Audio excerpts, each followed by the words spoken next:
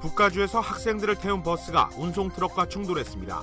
다수의 사망 사상자가 발생했는데 사고 차량 안에는 LA 통합교육부 소속 학교 학생들도 타고 있었던 것으로 전해졌습니다. 캘리포니아 주의회가 LA 카운티 정부와 손잡고 미성년자 성인신 매매와의 전쟁을 선포했습니다. 강화 법안을 상정하고 대대적인 근절 캠페인에 나섰습니다. 오바마 대통령의 방안을 앞두고 북핵 문제 해결을 위한 한중 양자 회담에 이어서 다음 주에는 미중 양자 회담도 개최됩니다. 조류 인플루엔자 AI 치료제로 알려진 타미플루가 실제로는 효능이 거의 없다는 주장이 영국에서 나왔습니다. 하지만 해당 제약사와 과학자들의 반론도 만만치 않습니다. 아베 정권이 일본의 한 섬마을에 왜곡된 교과서 채택을 강요하고 있는 가운데 섬마을 교육 당국은 왜곡된 내용을 가르칠 수 없다며 강력히 저항하고 있습니다.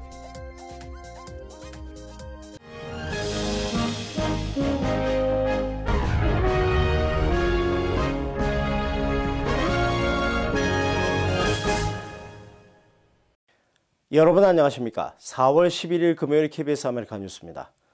북가주에서 학생들을 태운 버스가 운송 트럭과 충돌했습니다. 다수의 사망 사상자가 발생했는데요. 사고 차량 안에는 LA 통합교육부 학생들도 많이 타고 있었습니다. 노승우 기자가 보도합니다. 어제 오후 5시 30분경 남가주 지역 고등학생을 태우고 험버트 주립대학으로 향하던 버스가 페덱스사 운송 트럭과 충돌했습니다. 충돌 직후 버스는 화염에 휩싸였고 굉음과 함께 폭발을 일으켰습니다. There was a southbound FedEx driver um, that crossed over the center median. Uh, there was a small white sedan traveling in front of the bus. Uh, the the FedEx vehicle kind of sideswiped the white sedan before hitting the bus head on in the collision. Um, both vehicles became engulfed in flames. 충돌 직후 운전사 2명은 모두 숨졌고 5명의 학생, 3명의 스태프를 포함해 현재까지 모두 10명이 사망했습니다. 버스 안에는 남가주 지역 16개의 고등학교에서 모인 학생 48명이 타고 있었으며 이 중에는 한인타운에 위치한 로버트 F 케네디 고등학교 등 LA 통합교육부 소속 학교 학생들도 다수 타고 있었던 것으로 전해졌습니다. 이들은 북가주에 있는 험벌트 주립대학에서 열리는 연합 학교 행사에 참가할 예정이었습니다. We are very saddened by this traffic accident. It's very tragic, but we currently have a contingency of three groups heading to the, this crash site now. to uh, meet with parents, meet with students, to focus on getting these students back to LA. 경미한 부상을 당한 몇몇 학생들은 병원 치료를 마치고 귀가 조치된 것으로 알려졌습니다. 트럭 운전사의 과실이 사고 원인으로 추정되고 있는 가운데 연방교통안전국은 자세한 사고 경위를 조사 중입니다. KBS 뉴스 노승욱입니다. 캘리포니아 주의회와 LA 카운티 정부가 손잡고 미성년자 성매매와의 전쟁을 선포했습니다. 주 차원에선 강화 법안을 상정하고 카운티 정부는 지지 결의와 함께 대대적인 근절 캠페인에 나섰습니다. 윤범수 기자가 취재했습니다. 미성년자 성매매 피해자들은 미 전역의 30만 명, 전체 가출 청소년들의 3분의 1에 달하는 숫자입니다. 매춘업자 1명이 평균 4명에서 6명의 미성년자들을 거느리고 있으며 이들이 성매매로 벌어들이는 돈은 1년에 95억 달러에 달합니다. 또 이들 대부분이 갱이나 범죄 조직에 연루돼 있습니다. Child sex trafficking is an incredibly obscene moneymaker. Traffickers across the country can make anywhere between $11,000 and $33,000 a week selling these young girls. 정작 성매수자들의 경우 처벌은 솜방망이 수준이라는 지적입니다. 체포돼도 경범죄로 분류되고 벌금만 내면 되는 정도에 그치고 있습니다. Uh, today, LA County and the California legislature are declaring a war on human sex trafficking. And people think that this happens in other places and other countries. It's happening right here in California. Uh, we know that of the 13 highest concentrations in America of human sex trafficking, California has three of them. 주 차원의 관련법 강화 더불어 카운티 정부도 메트로 교통국과 손잡고 미성년자 성 인신매매 근절을 위한 캠페인에 들어갑니다. 이에 따라 미성년자들은 인신매매의 피해자라는 것을 알리는 내용의 광고가 열차와 버스 그리고 카운티 각 지역 정거장과 곳곳의 대형 전광판에 붙게 됩니다. 복수의 상원안이 합쳐진 형태로 상정될 예정인 이른바 아동 성매매와의 전쟁 법안은 아동 성매매를 갱 관련 범죄로 포함시켜 업자들의 형량을 대폭 늘리고 수사를 위해 함정 단속에 필요한 도청까지 허용하는 내용을 담고 있습니다.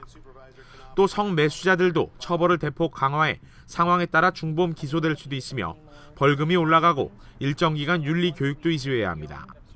현재 법안은 캘리포니아주 상하 양원의 초당적 지지를 받고 있으며 앞서 화요일 카운티 supervisor 위원회도 법안 통과를 지지하는 결의안을 만장일치로 통과시킨 바 있습니다. KBS 뉴스 윤범수입니다. G20 재무장관 회의에서 세계 경제의 성장을 위해선 규제 개혁이 필수라는 점이 재차 강조됐습니다. 올해 정례 회의 내용을 이주환 기자가 전해드립니다. 호주 시드니에 이어 두 달 만에 다시 만난 주요 선진 20개국 재무장관들은 세계 경제의 성장세가 올해는 더욱 단단해질 것으로 진단했습니다. 특히 성장 잠재력을 높이기 위해선 상품 서비스 분야에 대한 질 높은 투자가 필수라며 강력한 규제 완화가 우선돼야 한다는 데 의견을 모았습니다. 이를 통해 지난 2월 합의한 대로 향후 5년간 G20 국가들의 국내 총생산을 2% 높인다는 겁니다. 이렇게 되면 우리나라의 경우 현재 1조 3천억 달러인 GDP, 즉 국내 총생산이 260억 달러 더 늘어나게 됩니다. 이 같은 차원에서 우리 정부의 규제 완화 정책이 G20 국가들로부터 긍정적인 평가를 받은 것으로 알려졌습니다.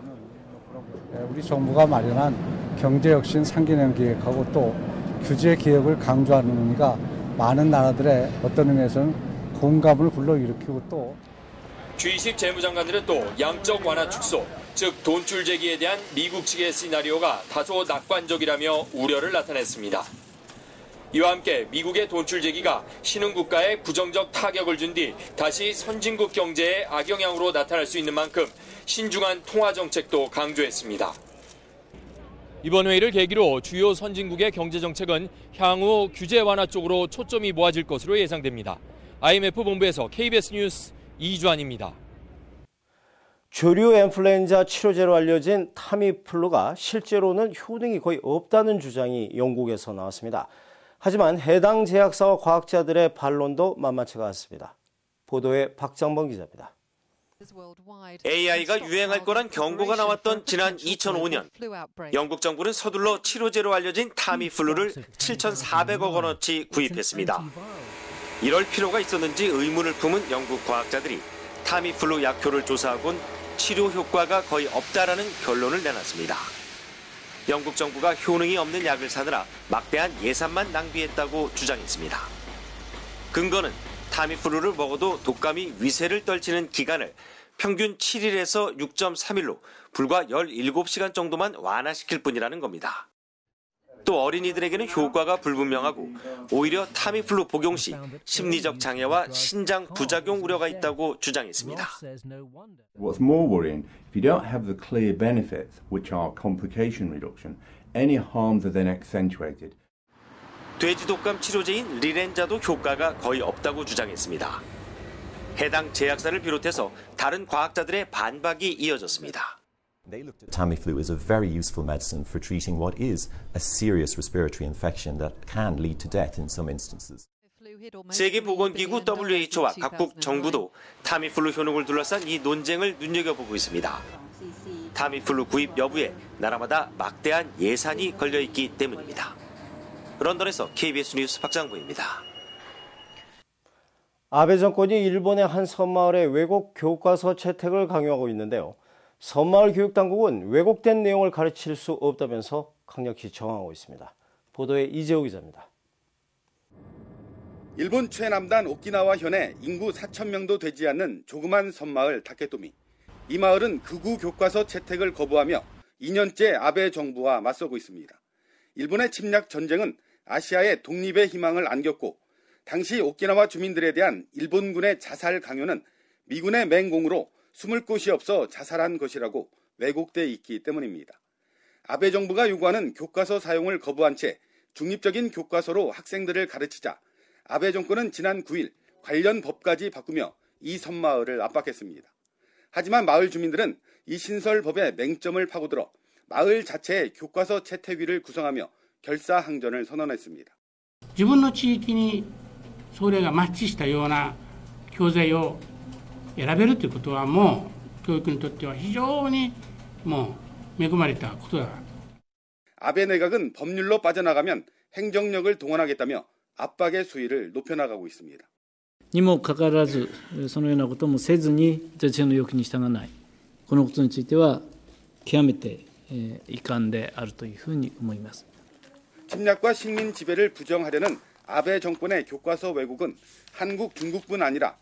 일본 내 작은 섬마을에까지 무차별적으로 이루어지고 있습니다. 도쿄에서 KBS 뉴스 이재우입니다. 오바마 대통령의 한국 방문을 앞두고 북핵 문제 해결을 위한 한중 양자 회담에 이어 다음 주에는 미중 양자 회담도 개최됩니다. 전문가들은 북한이 추가 핵실험에 나설 경우에 대북 제재 수준이 훨씬 강화될 것이라고 강조했습니다. 이강덕 기자의 보도입니다. 미 국무부는 미중 양국의 육자회담 수석대표 회담이 다음 주 14일과 15일 뉴욕 그리고 17일 워싱턴 등 세 차례 개최된다고 밝혔습니다. 한미일 3자 회동에 이어 한중 양자 회담 그리고 미중 양국 간의 밀도 있는 회담이 이어지는 상황입니다. 오바마 대통령의 한국 방문 직전에 이뤄지는 연쇄 회담은 북한 설득을 위한 중국의 역할을 구체화하는 데 초점이 맞춰질 것이라는 게 전문가들의 관측입니다. 북한의 핵실험 등 추가 도발을 막기 위한 움직임도 분주합니다. 북한이 끝내 추가 핵실험에 나설 경우 유엔 안보리 차원의 제재가 강화되는 것과 함께 이란 때와 같은 유엔 밖 양자 제재가 강도 높게 추진될 수밖에 없다는 경고도 잇따랐습니다. 오바마 대통령이 방한 기간에 새로운 대북 정책을 선보일 가능성은 낮다는 게 전문가들 인식입니다. 북한의 핵실험 여부는 미국 등 관련국 대북 정책의 강원 여부를 판가름하는 분기점이 될 게 분명합니다. 워싱턴에서 KBS 뉴스 이강덕입니다.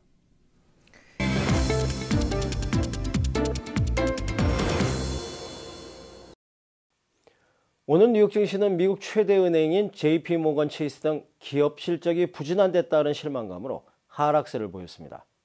원달러 환율은 1,035원 50전입니다.